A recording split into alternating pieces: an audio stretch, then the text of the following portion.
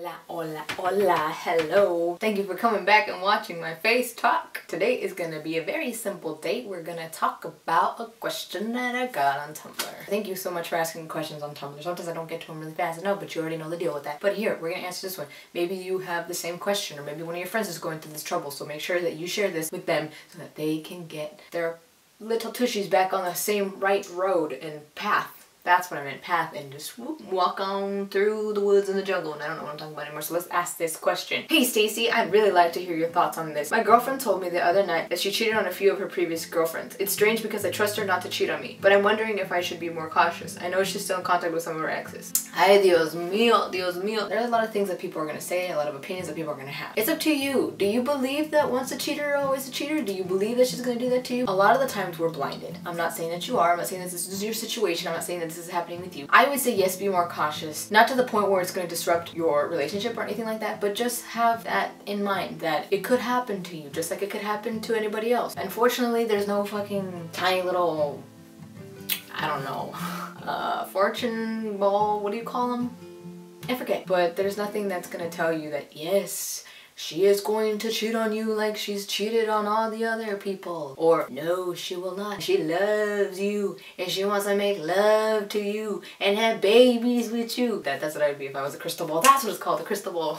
At the end of the day, it's up to you. If you really put your trust in her and you really do honestly trust her and you don't think that she's going to pull one of those, you know, acts. Not an axe like whoosh, but like act I don't know, I have problems with articulation sometimes. I think that personally myself, I would have a lot of trouble being with somebody who has cheated multiple times in the past, um, or cheated for that matter. There are certain situations where you can be like, okay, like, I understand what happened, but for the most part, a lot of people don't believe in cheating, and if you're able to be with somebody who has cheated in the past, props to you because it's fucking hard. We're all different, I understand that, but I would personally not be able to do it. So I do hope that she does not do that, and you never know, this world is fucking crazy. There's a lot of twists and turns and there's a lot of plot stories that are twisted into little twisties, more twisties than a Twizzler has.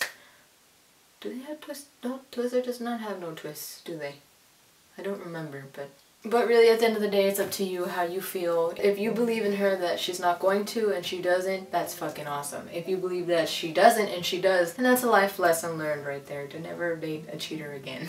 I'm just kidding, you know, a lot of people change and maybe, I personally don't believe in it, but I think for somebody who cheats constantly, I think it's an underlying issue that they may have. Maybe they don't, maybe they just love to be a cheater. well, I don't, I don't fucking know. I'm not one myself, so I would not know. I think personally, someone might come along and change their life they will have that chance to redeem themselves. Not that they have to, but you know what I mean. I think my simplest answer is yes, be cautious, but like I said, don't let it interfere into your relationship unless things start popping up, like, you know, those signs of uh, they may be cheating on you. And sometimes you'll never even fucking know and you'll find out later.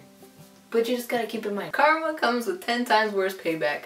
Why do you want to have somebody around in your life who's gonna cheat on you or who did cheat on you? You don't. You just, you gotta surround yourself with people who love you unconditionally and will always be around for you just like you will be around for them. And that's the beauty of me changing the subject mid-topic I don't think that's what I was supposed to be talking about, but I think that if you're comfortable with her and you trust her, then be comfortable and trust her. Don't worry yourself if you really honestly feel like she is into you. But I do want you to be cautious because it could happen to you. If you can live comfortable and you can be cool with it, then don't let it bother you. If you guys are happy and everything's going great, then don't let it bother you. I don't really know. I can't really give you much advice because if I was me, I wouldn't be in this situation. But you did mention that she still talks to her exes. I don't know how you feel about that. If you don't like that, that's something you have to bring bring up and you guys have to sort it out. I don't know. I personally like to stay away from all of that in respect to my girlfriend and myself, you know, and our relationship. And I really have nothing to do with people in my past. I really don't. If she really does make you happy and you guys make each other happy and you know that nothing fishy is going on behind closed doors or in front of closed doors, just carry on with it. But I wish you the best and hopefully you have nothing but positivity, love, and prosperity coming your way for the both of you. And hopefully you're that one that, you know,